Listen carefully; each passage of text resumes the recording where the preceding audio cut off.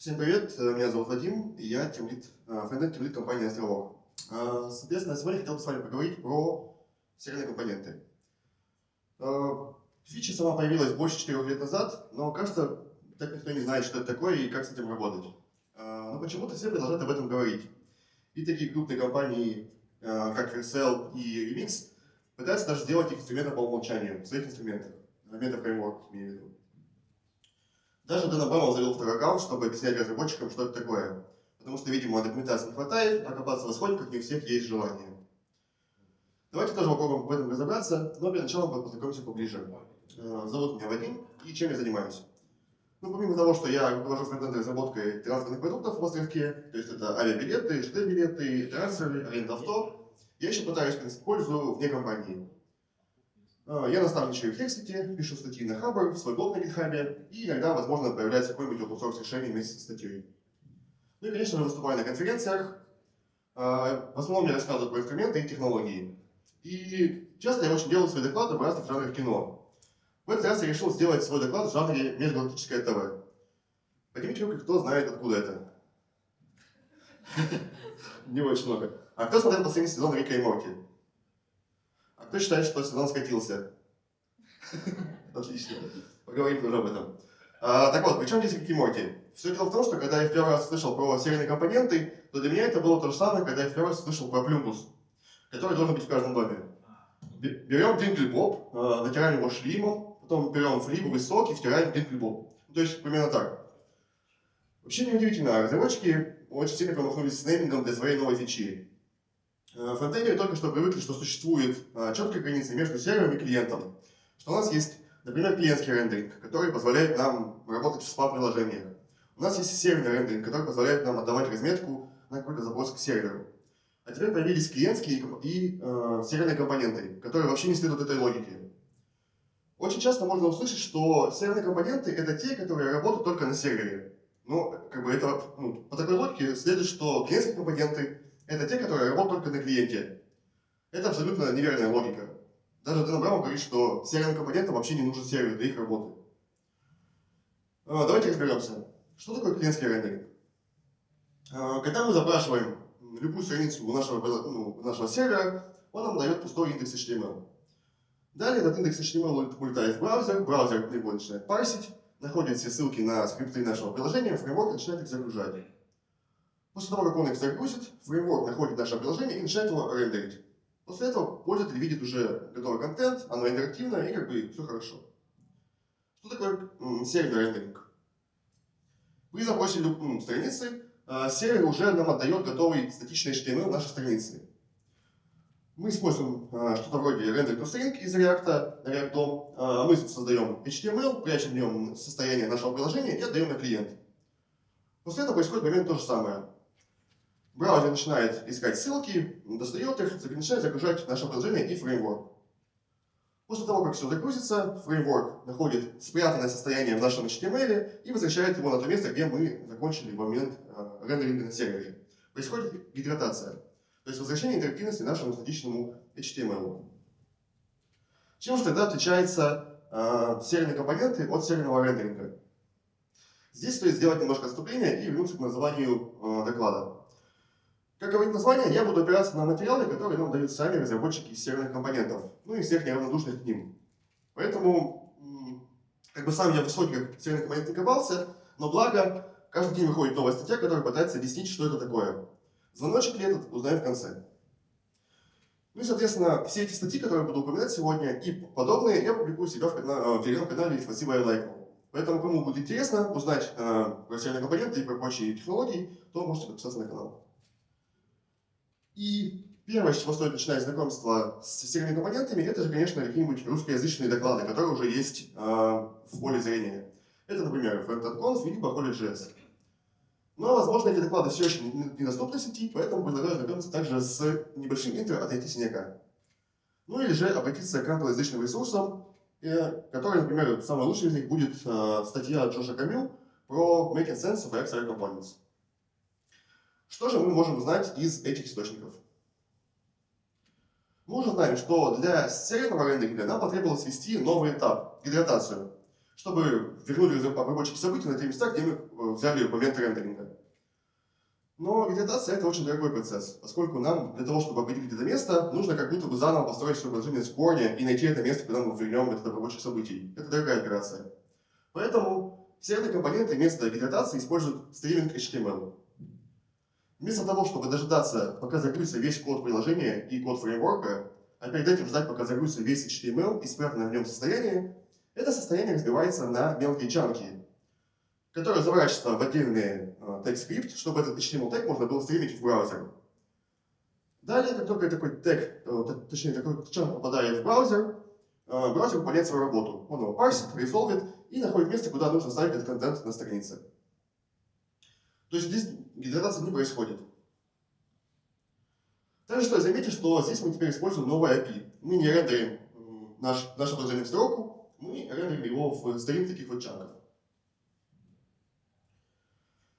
Э, для таких чатков React команда выбрала специальный формат, и вы уже, возможно, видели его вот в виде такого JSON-подобного э, синтаксиса. Мы еще об этом поговорим. Под, под, подробнее про стриминг можно почитать в статье о том, как работает suspense в Next.js приложениях.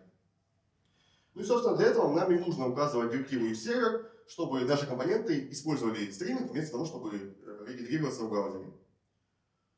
Эм, отсюда мы получаем то самое, самое как бы, популярное определение серверных компонентов. Серверные компоненты — это те, которые рендерятся только на сервере. Оно ну, как бы не очень точное. И чтобы нам его уточнить, нам нужно ответить на другой вопрос. Что такое JSX?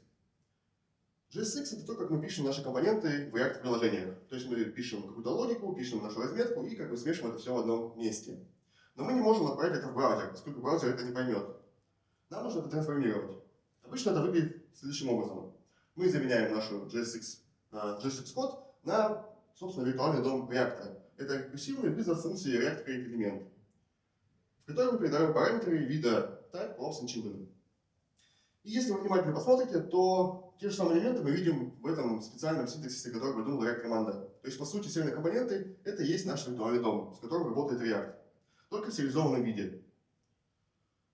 Ведь, по сути, тот чанк, о котором мы говорили в самом начале, это что-то вроде самовызводческой функции, а, с которой содержит себе кусочек виртуального дома React. Только такой чанк попадает в браузер, браузер его выполняет, а, React парсит свой синтаксис, находит этот, создает кусочек дерева и вставляет на страницу.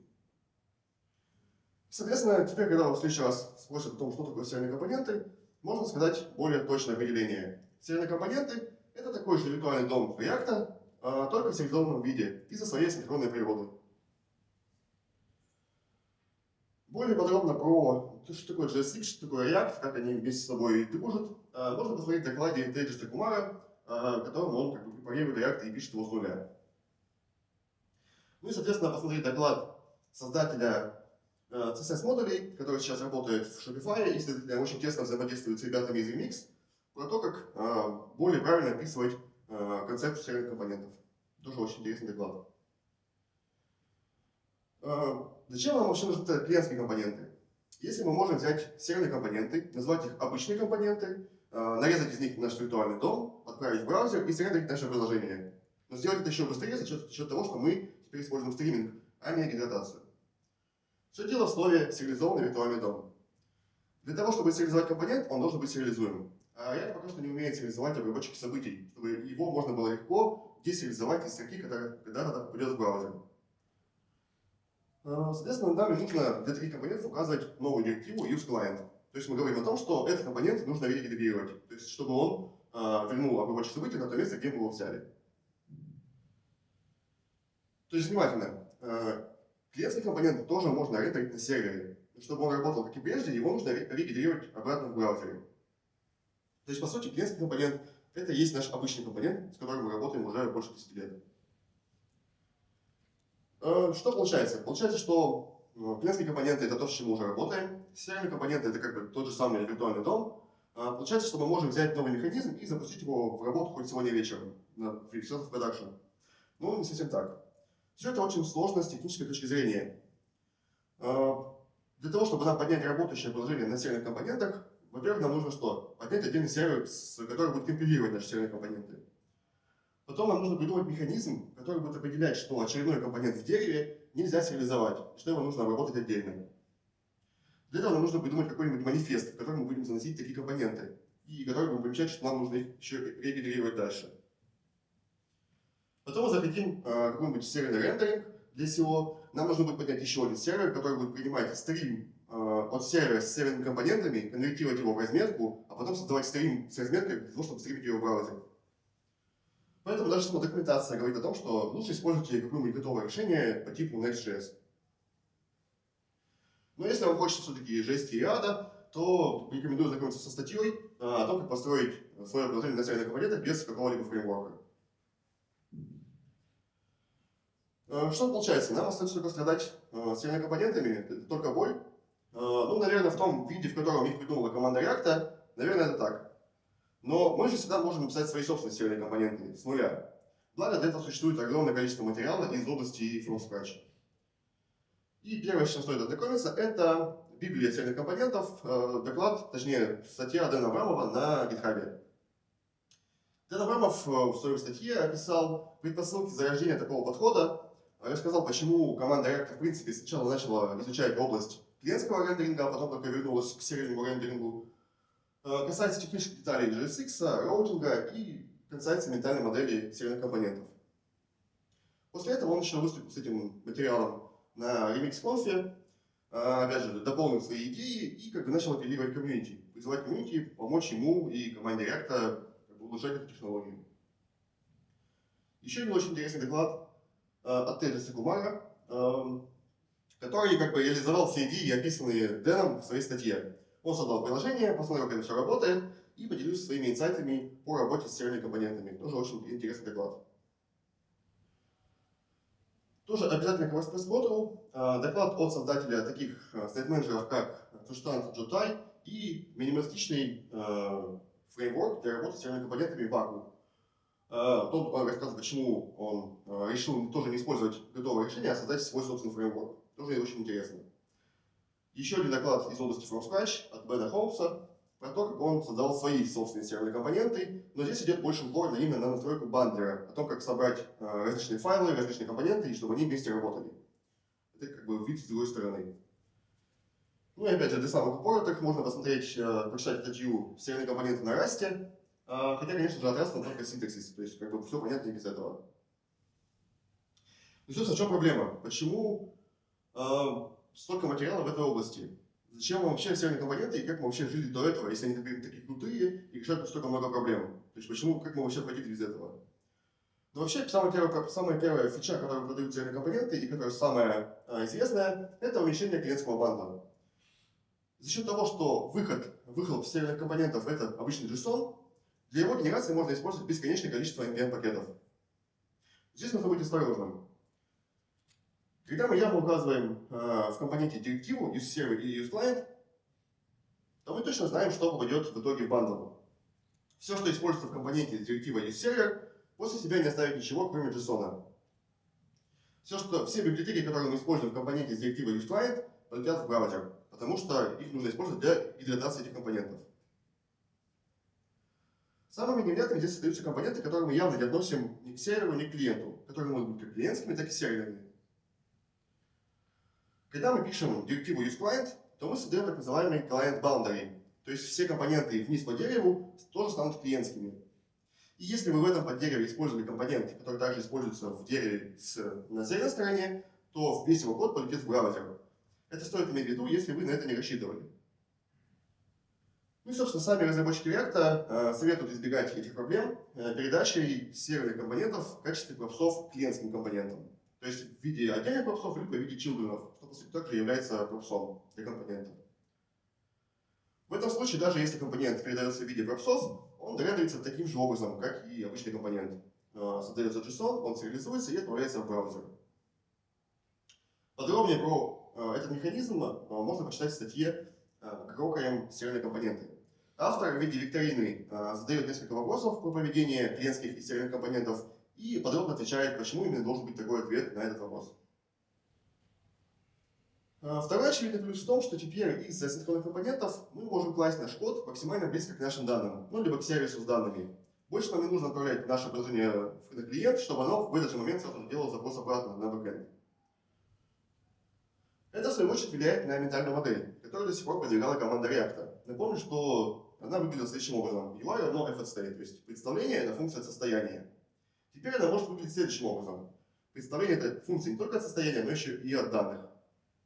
Или, как говорит Дэн Абрамов в своей статье, теперь вам нужно больше элементов для того, чтобы показать представление пользователю. Не только компьютер пользователя, на котором хранится его локальный стейт, но еще и а, компьютер, на котором рендерятся серверные компоненты. Тот факт, что а, у нас изменилась ментальная модель, а, можно считать, а, что у нас изменились метафреймворки. Если раньше, например, Next.js позволял вам работать с серверными данными за счет хука get server props, в рамках которого мы могли сделать несколько запросов, получить данные, превратить их в пропсы и прокидывать до места их использования уже на готовой странице. Теперь с приходом асинхронных компонентов любой компонент это по сути страница в старом его понимании, у которого есть собственный get server props, хук, который берет данные, которые ему нужны, и рендерит данные, которые ему нужны. Очень интересный тред в Твиттере про то, как отказаться от старой модели и попытаться понять новую модель с асинхронными компонентами. Тоже можно найти. Ну, собственно, Next.js — это не первый метафреймворк, который подвергся такому глобальному изменению. А, то есть перешел на модель получения UI через сервер. Первым был, конечно же, Remix. И его знаменитая модель Loader UI Action. Сначала в 2022 году а, Райан Флоренс выступил на Ракатоне, рассказал про эту модель, рассказал, как она помогает избавляться от waterfall запросов для конечного пользователя. И после в, в их блоге появился доклад, точнее статья, о том, как работает полный цикл состояния в приложениях. В чем суть их подхода? Э, изначально мы уже знаем, что э, ментальная модель React это типа UI равно f state. Кроме того, что это функция от состояния, это еще означает, что данные в нашем приложении двигаются в одну сторону. То есть у нас через UI э, мы можем изменять состояние, состояние позволяет нам изменять UI. То есть по циклу. И Remix говорит, что это всегда было ложью, поскольку э, нет такого места, что у нас в одном месте сконцентрировано все состояние, и мы в нем только работаем. Оно размазано по нескольким слоям. Много состояний на бэкэнде, чуть-чуть поменьше на BFF, и там совсем чуть-чуть на фронте. На фронте. И нам нужно постоянно делать циклы синхронизации, чтобы не потерять эти какие-то данные на разных слоях. Допустим, у нас сработал какой-то useState, сработал useEffect, улетел запрос на бэкэнд, на BFF, BFF подготовил данные, обогатил их для бэкэнда настоящего, бэкэнд ответил, BFF готовит ответ для фронта, что-то срезает, чтобы не показать лишнего, данные удаляет на фронтенд, э, срабатывает опять useState, опять useState и так далее. То есть Remix предлагает отказаться от этой бесконечной цикличности. Если пользователь э, делает какой-то action, то это глобальный action, который меняет состояние глобально. После этого в работу вступает лодер, который готовит данные, опять же, глобально и возвращает пользователю уже обновленное представление.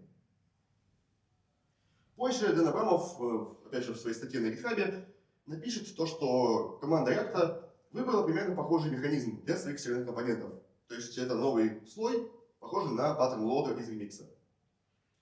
А еще позже Vercel напишет о том, что как бы это, это оно и есть, у нас тоже есть полный цикл состояния, только вы теперь его можете использовать э, в серверных компонентах и в app роутере э, от Next.js. Конечно, мы не можем просто так избавиться от состояния. Оно должно куда-то деться. И в том числе мы не можем избавиться от useState.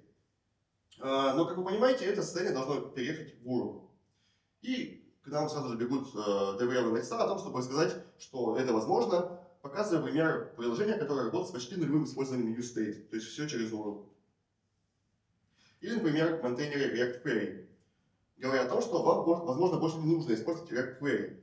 Поскольку если состояние уехало в URL, то сервер компонент способен его понять. Поскольку сервер имеет доступ э, к URL реквеста. Соответственно, формула URL FAT state может полностью работать на сервере, поскольку все переменные для этого у нас есть. Что еще стоит иметь в виду при работе с серверными компонентами? Ну, поскольку серверные компоненты это JSON, то в нем нет места хукам и, соответственно, их производным. Поэтому мы не можем работать с контекстом в серверных компонентах, потому что их нельзя сериализовать. Но мы можем работать с глобальным э, хэшем, то есть имитировать работу с контекстом за счет использования кэша. Только, только это теперь будет память не браузера, а вашего сервера. Уже, наверное, тоже многие слышали о том, что и React, и Next.js под капотом начинают патчить фетч для того, чтобы как раз таки внедрить эту работу глобального кэша. Соответственно, это вызвало волну негодования среди разработчиков. Но поскольку Next.js это первый фреймворк, который, в принципе, показал нам э, серверные компоненты, то ему пришлось набить сразу же все шишки. Я уже не говорю о том, что в самом React серверные компоненты до сих пор экспериментальные, а Next.js продает их как стабильные две последние мажорные версии. И, соответственно, давайте об этом тоже поговорим. Первое, что, с чем стоит ну, как бы, познакомиться при рассмотрении критики Next.js, это небольшая статья про то, что Next.js не готов для продакшена. Автор в своей статье описывает э, свой негативный опыт, что теперь он не может использовать кастомный сервер э, с серверными компонентами. Ну, это сделано для того, чтобы не сломать случайный стриминг данных. Автор также негодует о том, что он теперь не может использовать middleware, как это делал в своем любимом экспрессе. Ну и, соответственно, автор среди первых, кто поднимает вопрос о том, как теперь шарить состояние между клиентом и сервером. Вопрос, на который мы уже примерно ответили. Продолжает эту статью другая статья, которая называется «Ну почему Next.js?». Автор также негодует о том, что теперь в серверных компонентах мы не имеем доступа к объекту реквеста. Э, он жалуется на то, что Vercel выбирает сомнительные варианты API для своих серверных компонентов, и что теперь мы не можем, в принципе, устанавливать ни куки, ни хидеры в наших серверных компонентах, а только можем их прочитать. Более интересная критика в статье под названием «Испытывает ли э, React момент AngularJS?». Автор сравнивает переход от обычного React к серверным компонентам с тем моментом, когда мы переходили от первого Angular ко второму. Настолько сильные изменения готовит нам React. Автор, э, опять же, говорит о том, что придумали очень много функциональностей, новые фичи, но они написали достаточно документации для всего этого. И разработчик просто теряется, когда начинает это изучать. И автор среди первых, кто а, беспокоиться о том, что команда React очень тесно сблизилась с командой Next, что по, итогу React советует использовать Next.js как фреймворк по умолчанию. Более сложная техническая критика, а, ее можно найти в статье Лэнса Вебера. Это контрибьютор Apollo GraphQL и Redux Toolkit. Но вообще стоит должное, конечно, стоит отдать должное команде Develop Next.js. А, кажется, что ребята проделали действительно большую работу. Только выходит какая-нибудь громкая статья, которая критикует Next.js, ребята сразу же бегут, объясняют, что все не так правильно поняли, дают ссылки на документацию, где это можно узнать. Кажется, что, что они действительно делают большую работу. Как переучить все комьюнити и не потерять никого по пути. Э, примером, э, таким примером может служить статья э, Кента Дотса. Кен Дотс — это кофаундер Remix. Он пишет, типа, почему я не буду использовать Next.js? Действительно, почему он не будет использовать Next.js? Он объясняет, что очень сложно разворачивать приложение Next.js вне Excel, о том, что э, Next.js использует свои обертки для всего, а Remix использует нативные методы и, и, и в таком духе. Ответная статья появилась сразу на следующий день. Ли Робинсон пришел рассказал все как, как по полочкам и указал, куда нужно смотреть, чтобы решить вопросы Кента. Ну, наверное, самым громким событием для критики Next.js была последняя конференция Vercel, на которой показали стабильные серверные экшены, и все завопили. А, это же PHP, но только на JS. А, хотел бы добавить пару комментариев от себя. А, где вы вообще видели такие приложения, которые напрямую из фронтенда ходят в базу данных? Ну, я не говорю про хакатоны, стартапы, вот это там, десятилетней давности проекты и так далее. В любом проекте, где есть хоть капля понимания архитектуры, все разбито на слои. PD у вас лежит на отдельном сервере с семью печатями, и нам, как фронтендерам, необходимо выстраивать правильную коммуникацию с этим отдельным сервисом, чтобы все получить как надо. То есть, как минимум, шум не оправдан. И я, я как бы, хочу об этом подробнее рассказать, но уже, наверное, в отдельном докладе, который я тоже уже готовлю. И по традиции я свои ссылки, которые буду упоминать в докладе, выкладываю в своем телеграм-канале. Спасибо, и лайк. Поэтому, кому хочет также держать руку на пульсе, можно провалиться в канал. Итак, какие же выводы можем сделать, почитав 100 статей про серверные компоненты? Ну, самое первое, то, что серверные компоненты — это технология не новая, но она очень сильно отличается от тех привычных правил, к которым мы привыкли. С другой стороны, не существует серверной пули, которая способна решить все ваши вопросы и проблемы. Все всегда упирается в trade-off. С серверными компонентами то же самое. Серверные компоненты похожи на паттерн loader из ремикса. Значит, их также можно использовать в таком же ключе. Готовить UI заранее на бэкэнде и показывать пользователю. Далее пользователь через action или через серверный action, что тоже часть серверных компонентов, обновляет это глобальное состояние. После этого опять работает loader, и мы видим новое представление для пользователя. Это заставляет нас думать по-другому э, над нашим приложением и, и писать их по-другому. Соответственно, у нас use effect превращается в action, use state переезжает в URL, в хидеры либо в куки. Может сложиться впечатление, что э, если мы говорим про серверные компоненты, то нужно только их использовать. Клиентские компоненты – что-то плохое. Это вообще не так. Серверные компоненты – это комплементарная технология для клиентских компонентов, которая делает их только лучше. Серверные компоненты бывают двух видов – динамические и статические. Выхлоп серверных компонентов – это обычно JSON, который мы можем положить на CDN и реализовать как обычную статику. Другой стороны, серверные компоненты – это виртуальный дом реактора, который он понимает, но который мы можем готовить на сервере. Соответственно, мы можем готовить вычисления на сервере и очень гибко обновлять наше представление на UI. Ну и поскольку у нас теперь смещается, э, состояние смещается в URL, другие места, э, это стирает границу между э, фронтенд разработкой и бэкенд разработкой. Это, в свою очередь, влияет на то, как пользователи воспринимают наше приложение. Они становятся работать быстрее за счет того, что уменьшается клиентский бандл, уходят waterfall запросы и прочее. Это также влияет еще на DX, то есть разработчик типа, начинает быстрее писать приложение, потому что не нужно переключать контекст, backend, фронтенд. Ну и, соответственно, не нужно, соответственно, если вы видите, что React команда и Next команда очень тесно сблизились, это вообще не означает о том, что вам нужно использовать только серверные компоненты в версии Next.js. На этом все.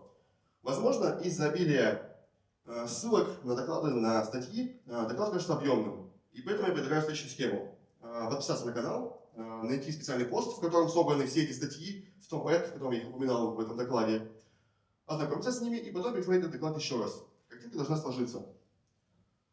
Соответственно, я подготовил специальный пост, в котором есть хэштег allaboutRSC. Предлагаю вам провести свой research и как вернуться в комментариях. Возможно, вы тоже уже делаете свой research, и вам есть чем поделиться. На этом у меня все. Спасибо за внимание. Спасибо, Вадим. Ненавижу React еще сильнее. Пожалуйста, вопросы, ребят, если есть. Привет, спасибо за доклад. Вот по, по поводу подробнее хотел бы узнать про состояние. Про состояние. Ты да. сказал, что в целом передаем или в урле, или в хедере. А если у нас, ну, как бы обычно там Next.js приложение, которое имеет в себе там, прости господи, редакс, да, угу. или эффект. Есть ли возможность у серверных компонентов работать с ним? Потому что ну, в моем опыте это был гидратация. То есть да. я отдавал данные с помощью гидратации на клиента. Да, да. А вот сервер компоненты этого стрим, это поток. То да. есть они как? Смотри, э, в самом редаксе э, под капотом, как я уже знаю, используется давно контекст. Соответственно, мы не можем его использовать в серверных компонентах. То есть это всегда будет клиентский компонент. То есть если, если есть контекст, если обращение типа контекст, там, use контекст, что-то еще, это всегда будет клиентский компонент.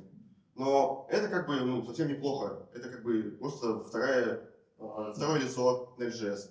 То есть, получается, мне надо в URL передать какую-то информацию, и, к примеру, в серверном компоненте я могу сходить также через серверный экшен базу, забрать и отрендерить. Ну, грубо говоря, вот так выглядит. URL здесь будет использоваться именно, смотри, серверный компонент это просто еще один дополнительный слой перед твоим приложением. То есть, по сути, когда мы компилируем наше приложение на серверных компонентах, мы uh, вычленяем, uh, типа, регбаним серверные компоненты кладем отдельно, клиентский кладем отдельно. По сути, у нас получается, что приложение на серверных компонентах производит новое приложение просто с клиентскими компонентами отдельно. Ну, и, а. вот и вот уже его мы можем типа, регенерировать, смотреть там состояние какое-нибудь и все, что мы делаем. А данные откуда? Данные мы берем в серверных компонентах. То есть они типа отвечают за слой сети, за работу с баз данными, с файловой системой. А, то есть за серверные компоненты я могу сразу да. сходить и это... Да, да. То есть получится state manager отдельно, а сервер компоненты отдельно. Спасибо. Всем привет. У меня есть вопрос по поводу... Вообще, это мой второй доклад про серверные компоненты. Почему-то все они скатываются к Next.js всегда. Не поймите неправильно, у меня тоже Next.js в моем блоге. Это просто единственная реализация сейчас. Да. Просто интересно, когда-нибудь думал о том, как можно без Next.js реализовать серверные компоненты? Вот поднять там просто полый React. И что дальше? Что, что с этим дальше делать? Да, собственно, были ссылки. Можно посмотреть, как это сделали а, просто на нативных API из Webpack, а, из React дома и так далее. Есть э, минималистичный фреймворк Vacuum, собственно, конечно, до того, который как бы сделал еще одну реализацию всех компонентов. Ну и сейчас Remix тоже над этим активно работает, они как бы у них это первостепенный приоритет для того, чтобы выкатить все компоненты в Remix уже. То есть в ссылках есть какие-то размышления по этому поводу? Конечно, да. Все, поняла, спасибо. Еще вопросы, ребят. У нас такая классная книжка про архитектуру как раз.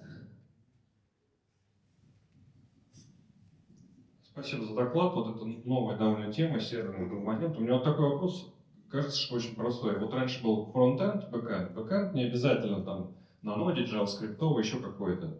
Э, Допустим, на Java он написан. Здесь появляется серверный компонент, то есть получается еще появляется еще один сервер на экспрессе, который там крутится вот этот React. На Angular сейчас новая тема, в 17 вышли тоже серверные компоненты. Я еще пока не разобрался там. Вот Как это? То есть два сервера получается теперь? Да, тут, смотри, тут бывают э, два вида серверных компонентов. Они могут быть динамические, как вот, например, сейчас делаем Next.js. То есть мы можем сделать запрос э, на сервер, и нам вернется актуальная информация там, с баз данных, с системы и так далее. Это динамические серверные компоненты, которые в моменте компилируются при каждом запросе. Но мы можем их скомпилировать заранее, то есть мы можем из них получить обычный э, статику в виде JSON и положить ее на CDN. И, и, соответственно, теперь мы можем вообще обращаться к базе, ну, точнее, к сайту нашему, и он уже заранее скомпилированные данные нам подсовывать в наши приложения. И нам не нужно будет больше поднимать никакого отдельного сервера. То есть вот такой способ работы. Отлично, спасибо. Еще вопрос? Смотри, есть такая тоже холиварная тема, как микрофронты. И в целом до Next они тоже добрались. То есть можно через модуль Federation разбить Мгм. свойственные части, и все у тебя будет работать. Вот поддержит СССР. Э, Я слежу за не- несколькими блогерами в Твиттере о том, кто вот в этой теме вращается. Я уже видел пару примеров э, federated э, серверных компонентов, вот такой какой-то спецификации. Но это на уровне вот таких типа, смотрите, пацаны, что я сделал, вот прикольно это работало. То есть это пока в стадии такое исследования, и ну как бы наработки есть, но, наверное, не в ближайшем будущем они появятся вот в каком-то стабильном варианте. Запостишь тогда? Да, без проблем. Спасибо. Еще вопросы? Ну, Вадим, привет. Э, Алексей. Не знаю, получится ли у меня сформировать правильный вопрос, Э, но я до конца так и не понял, зачем нужны серверные компоненты. То есть, э, может быть, фишка именно в том, что вот этот текст-скрипт добавляется каждый раз, и вот это F от JSON, который дом создается каждый раз на каждый компонент, именно в этом идея. То есть гидрейт, грубо говоря, делается на каждый компонент отдельно. Гидратация вообще считается серверным компонентом. Ну, а как, где, в каком месте происходит связь ну, JavaScript с теми э, непосредственно с рендером? А, Опять же, э, серверные компоненты, их основные плюсы в том, что мы уменьшаем размер клиентского бандла. Потому что мы на выходе, когда мы компилируем серверный компонент, он на выходе имеет обычный кусочек виртуального дома. То есть это просто функция, которая там вызывает а, React Create элемент, там, не знаю, type а, AB, там, один counter, один и так далее. То есть это вот все, что получается на выходе. То есть мы срезаем абсолютно все библиотеки, которые мы для этого использовали. То есть мы могли использовать, там, не знаю, супер мощный ладаш без э, трешейкинга, там, не знаю, генерировать данные. На выходе мы это все За теряем. счет того, что это делается на сервере. Да, за счет того, что это типа делать на сервере, мы это не отправляем в браузер. Вот. То есть мы экономим, получается, э, канал Да. и, и все. Ну, Ну и скорость загрузки. да, то есть, по сути, мы сводим к тому, чтобы пользователь момент, ну, очень быстро общался с нашим приложением, без лишних каких-то э, этапов там, в виде гидратации, загрузки данных, раунд-трипов туда-сюда и так далее. Спасибо. Спасибо. Спасибо большое. Еще вопросы? Тогда, я так понимаю, если остались вопросы к Вадиму, вы сможете задать их на выходе. Вадим, тебе нужно выбрать лучший вопрос. А мне тоже понравился вопрос про Redux, и потом еще второй вопрос был. про- Один. Ну, если, соответственно, вот это, это не тот же человек, поэтому... Да, Хорошо. Хорошо, спасибо большое.